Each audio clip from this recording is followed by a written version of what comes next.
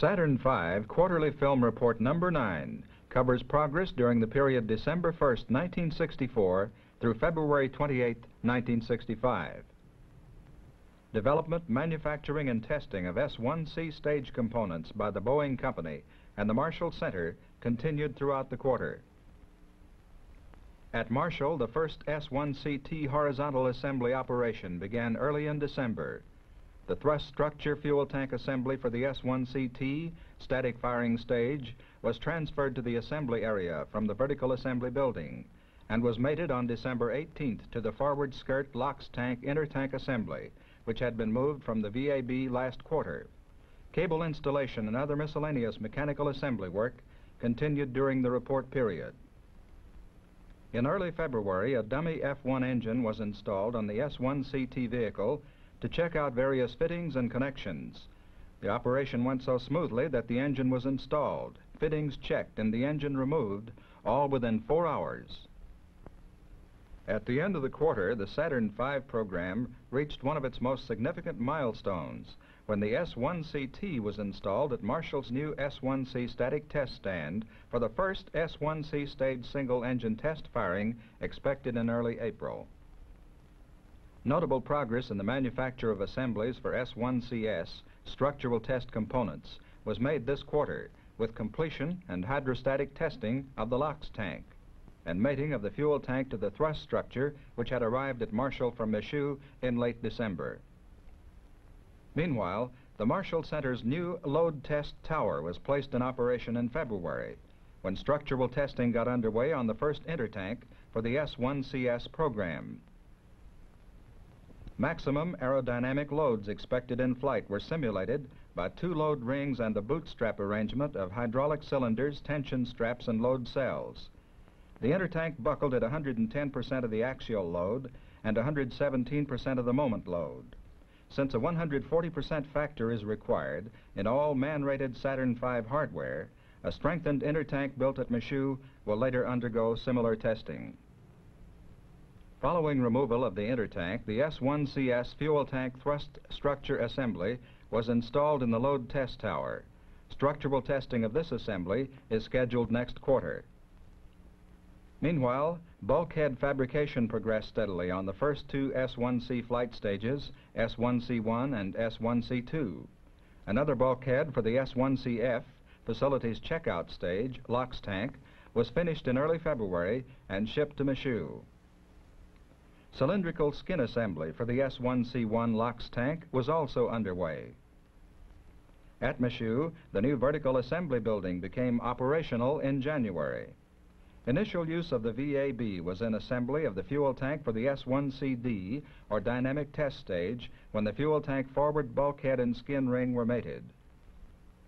On February 24th, the forward and aft assemblies were joined to form the S1CD fuel tank. The exclusion riser was installed on the S1CD lower fuel tank bulkhead.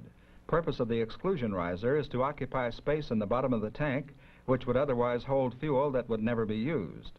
The displacement of this fuel by the exclusion riser results in a weight saving of some 5,000 pounds.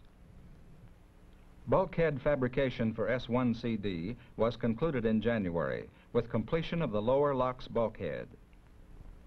Fuel tank bulkhead assembly for the S1CF facilities checkout stage began in January. Several major components were shipped by barge to the Marshall Center during the report period, including the thrust structure and forward skirt for the structural test stage and the thrust structure for the first flight stage. Other components being manufactured by Boeing Michoud included the first of four fins for the structural test stage and upper fairing frame assemblies which attach to the thrust structure. The Electro Development Corporation of Seattle, Washington, which manufactures various electronic components for telemetry systems, is representative of the 2,500 companies which keep supply lines of components and subassemblies moving on schedule to Boeing Michoud from all over the United States.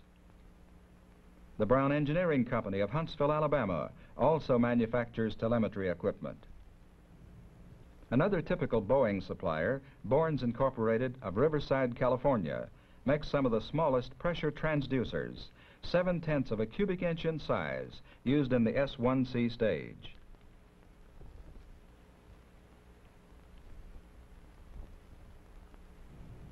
At the S2 static test facility at Santa Susana, a successful single-engine main stage firing of 9.8 seconds duration on December 11th highlighted activity at the battleship test stand. The test marked the first occasion in which the J-2 engine had been fully fired as an integral component of the S-2 propulsion system. Now that the single-engine test program is completed, all battleship effort is being directed toward activation for cluster firing. All J-2 engines, as well as all GSE or systems development devices, have been received at Santa Susana. A preliminary system checkout of the J-2 engine gimbal actuation system installed in the S-2 electromechanical mock-up was performed this quarter at Downey by the S-2 prime contractor, North American Aviation's Space and Information Systems Division. In the GSE checkout and test area of the electromechanical mock-up facility, checkout of control room GSE racks is expected to be completed in March. The control room contains a computer complex, a telemetry checkout station, RF station, electrical checkout station, and digital data checkout station. The major subcontractor effort for delivery of GSE for the electromechanical mock-up is being accomplished by Brown Engineering Company of Huntsville, Consolidated Electrodynamics Corporation of Pasadena, and Control Data Corporation of Minneapolis. An S2 program milestone was reached on February 1st with completion of the structural test stage at S&ID's Seal Beach facility.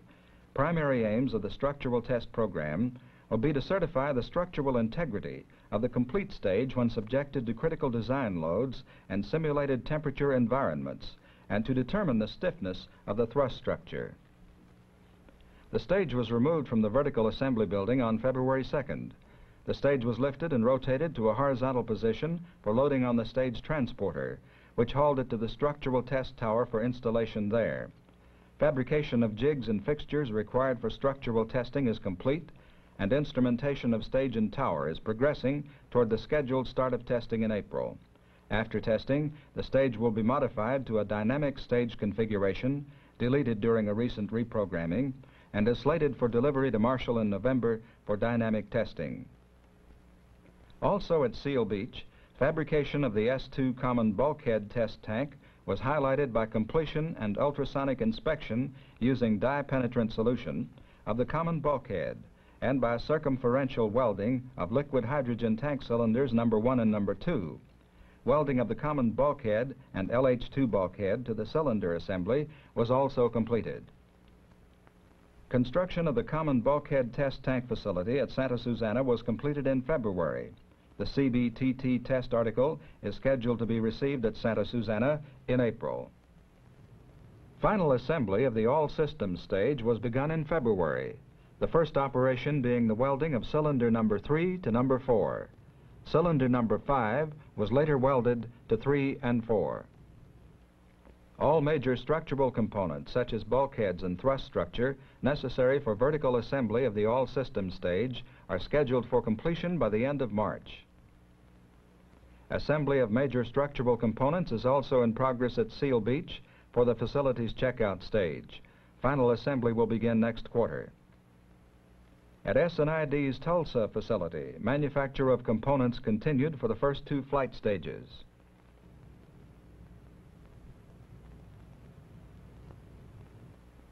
A ceremony at Douglas Aircraft Company's Huntington Beach, California facility early in December marked the formal turnover to NASA of the first S-4B stage built by the company. The stage, designated S-4BD, was then shipped from the West Coast to the Marshall Center for use in Saturn 1B and Saturn V dynamic test programs. At Marshall, the stage was installed in the Saturn 1 1B dynamic test stand in mid-January as part of the Saturn 1B vehicle. Meanwhile, back at Huntington Beach, after completion of checkout and painting of the facility's checkout stage, S4BF, the stage was moved to Douglas Sacramento test area. On February 18th, the stage was installed in beta test stand number 3 for propellant loading tests scheduled next quarter. Fabrication and assembly of components for the first and second S4B flight stages for the Saturn V program continued at Douglas Santa Monica plant. Also in progress during the report period was Douglas Structural Test Program involving various S-4B components such as this static test thrust structure. Another item undergoing qualification testing was this liquid oxygen tank assembly. And an S-4B forward skirt was tested to failure to determine maximum load conditions. At the Sacramento test area, the S-4B battleship firing test program continued during December, with successful firings varying from 10 seconds to 416 seconds in duration. The 416-second firing was the longest S-4B test to date. In late January, J-2 engine number 2003 was removed from the battleship test stand and was replaced with engine number 2013 which has a gimbal capability for the continuation of tests. In addition to hot firings, such development tests as engine chill down and propellant utilization were also conducted.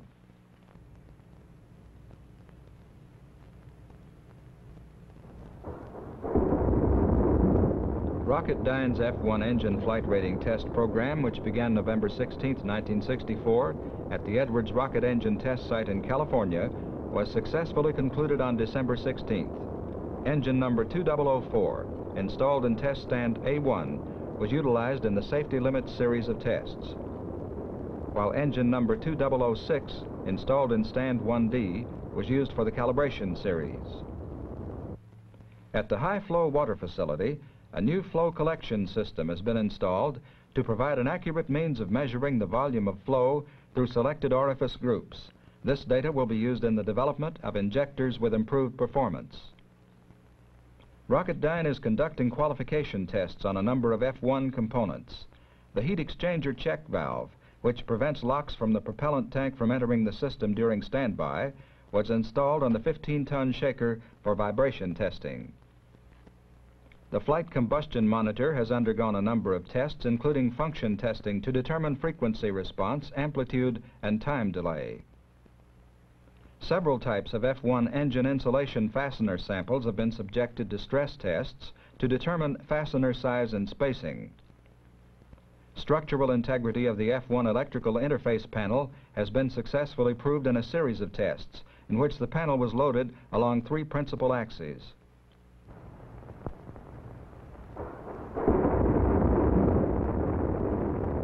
At the Marshall Center, propulsion system testing of three of the five F-1 engines for the S-1C static firing stage has been accomplished. Test completion is expected by the middle of March. At Marshall's new F-1 static test stand, interior work continued in preparation for initial engine testing scheduled for April. A milestone of vital importance to the entire Saturn Apollo program was reached on December 9th when Rocketdyne's J-2 engine successfully demonstrated its ability to stop and restart in a static firing conducted at Santa Susana. The test engine was operated initially for 165 seconds and shut down. Following a 75-minute simulated coast period, the engine was restarted. The restart was cut off at 7 seconds because of an erroneous helium pressure reading. After six minutes, the engine was started again and run for 310 seconds, simulating the S-4B stage in flight. Following successful completion last quarter of J-2 engine preliminary flight rating tests, the test engine was removed from the stand and completely disassembled for a teardown inspection at Rocketdyne's Canoga Park plant to determine the extent of wear on the engine after 18 firings totaling 2,350 seconds.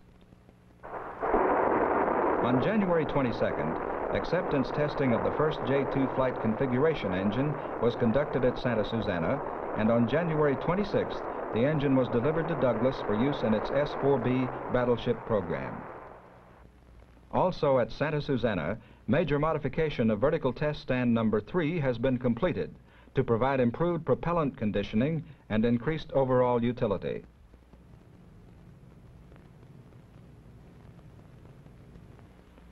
Vibration testing of the instrument unit designated as SIU-200V got underway in late February.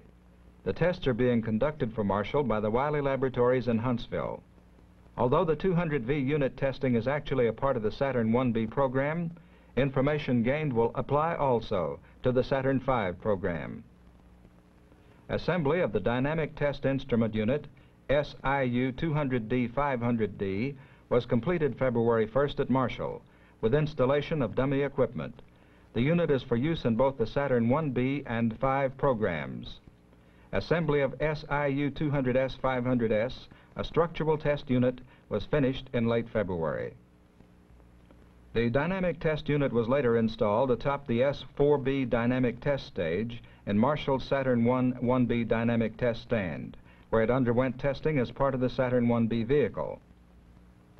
Structural buildup of the 500FS Flight Systems Instrument Unit began in mid-February. This unit will be shipped to Douglas next fall for use in testing there. Assembly of the Facilities Checkout Unit 500F continued.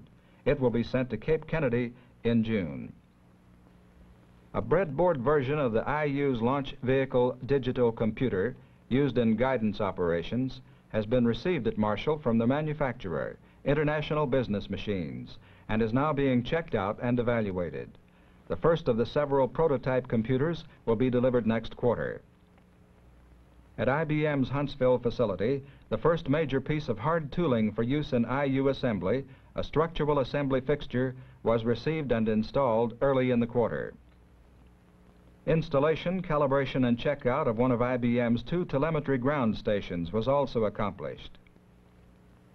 At IBM's Space Guidance Center in Owego, New York, radiographic inspection was accomplished on the first piece of production hardware to enter the company's production cycle, a magnesium casting which forms the base assembly for SIU 201's Emergency Detection System distributor. Other machining operations underway at Owego included a casting to be used in the launch vehicle data adapter, a component of the guidance and control system.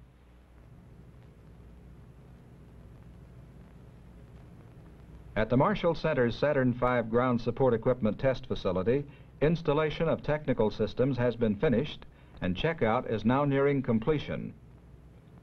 Buildup of the facility's vehicle motion simulator by the prime contractor, American Machine and Foundry Company, is approximately 25% complete.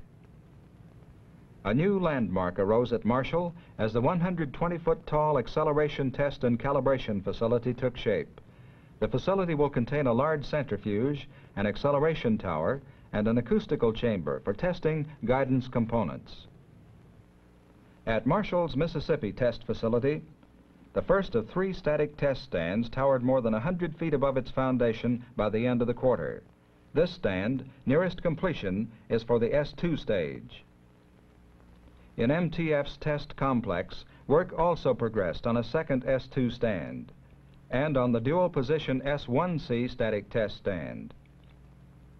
In other areas of MTF, buildings such as the office and administration building were completed, while others took form, so that the entire site began to shape into the comprehensive rocket testing facility it is destined to be when operations commence almost a year from now. In summary, this report period witnessed the accomplishment of an outstanding number of major milestones. The S-1C static firing stage was completed and made ready for testing. The first S-2 stage battleship firing was successfully conducted and the assembly of the S-2 structural test stage was completed. The first S-4B stage for use in dynamic testing was delivered to NASA and testing was begun. The F-1 engine flight rating test program was successfully concluded. The J-2 engine demonstrated its restart capability. Vibration testing of the instrument unit got underway, as well as dynamic testing as part of the Saturn 1B vehicle. And new facilities such as the Mississippi Test Facility moved still closer toward the time when they will play their own vital parts in the Saturn V program.